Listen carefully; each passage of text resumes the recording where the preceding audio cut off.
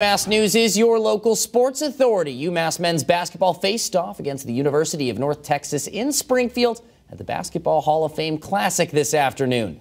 Western Mass News reporter Maria Wilson was at the game and she now joins us live in the studio with the details. Maria? Matt, it was a lively crowd tonight in downtown Springfield with many fans coming out to support the local team.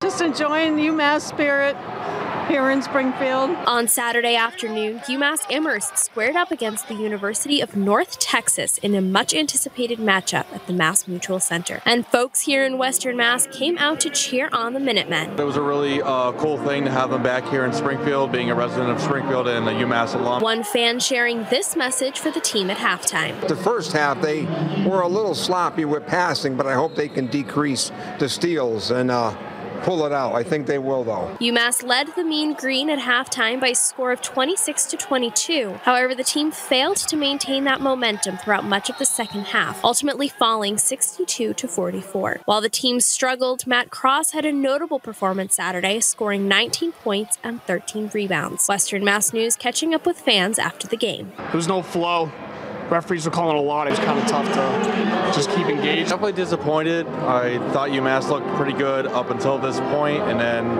uh, in the second half, they just didn't have it.